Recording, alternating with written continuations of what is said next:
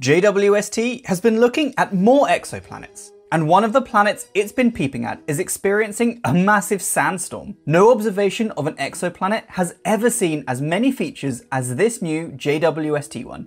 So let's take a look at what they found.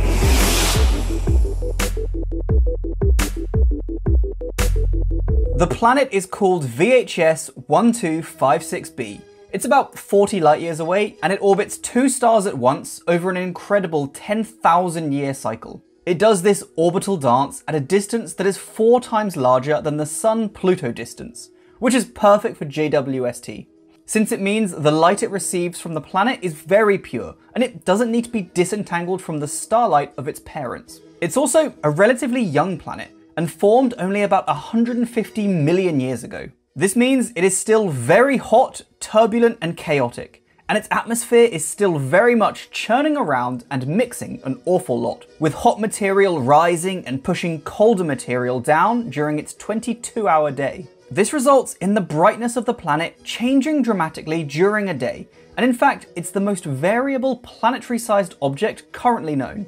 The planet is about 19 times more massive than Jupiter, so it's way bigger than any planet in our solar system. It's either a planet known as a super Jupiter, or it could pass into the category of brown dwarf, which are otherwise known as failed stars, typically in the mass range of 13 to 80 Jupiter masses. We're not exactly sure exactly which one this one is just yet. Since it is on the lower end of that brown dwarf mass range though, it has a relatively low gravity for a brown dwarf, and hence its clouds remain high in the atmosphere, making them much easier for JWST to detect. High in the atmosphere where the clouds lie, it reaches a whopping 830 degrees Celsius. But it's the composition of the atmosphere, rather than its high temperature, that is so exciting. JWST used two of its spectrographs on board to break down the light it received from the planet into the individual wavelengths of light, and it counted how much of each wavelength it received. Plotting this data gives us the spectrum of the planet, which looks like this and specific shapes and features in the spectrum tell us about the existence of specific elements and molecules in the atmosphere. To learn more about how to break up light into these components and how spectra teaches us about an atmosphere, you can go check out this video I made all about it. I think it's a pretty fun one. For this exoplanet, VHS 1256b, we can see features that tell us about the presence of water, methane, carbon monoxide, and silicates in the atmosphere. A silica is any molecule that's made up of silicon and oxygen atoms, and interestingly, it typically makes up sand. For example, silica dioxide makes up a lot of sand on Earth. On this plot, the highlighted regions of different colours show us the specific features in the spectrum that correspond to each element or molecule discovered.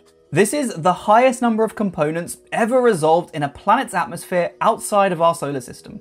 There was also a hint of carbon dioxide too, but that feature wasn't quite strong enough to yet be called a firm detection. The speed of JWST at making the detections is the astonishing thing here.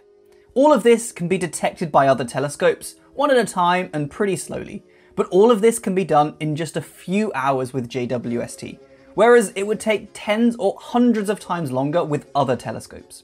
The distance of the planet from its stars meant that these spectra could easily be taken directly from the planet, without needing it to pass in front of one of the stars or anything like that. But sadly, the planet is still too small and far away to be imaged well by JWST. They haven't released an image of the planet yet, but if they did, it would just be a fuzzy blob. So any pictures I or anyone else shows you of this are all just artist's impressions. Within the clouds of silicates, JWST saw both small particles, similar to a particle of smoke, and larger particles, which are more comparable to hot but still tiny particles of sand. Further studies should better reveal the size and shape distributions of these particles to us, and hopefully they'll teach us much more about the weather on this planet. That weather is probably pretty unpleasant though, given the clouds made of sand, which sounds way worse than the water vapor clouds we tend to have here on Earth. Imagine walking through or being rained on by sandy clouds. It would be pretty unpleasant. However, there's still a lot left to learn about this planet, and of course, the much wider universe too. And JWST is helping us make progress on lots of fronts. The data taken here will keep scientists busy for a long time, and as they study it more, they'll keep learning more about the composition, weather, and dynamics of the planet.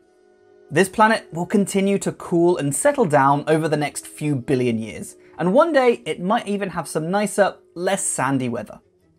I hope you enjoyed this video, and I'd love to hear your thoughts on all of this in the comments below. Until next time, stay safe, team. I'll see you soon. Bye!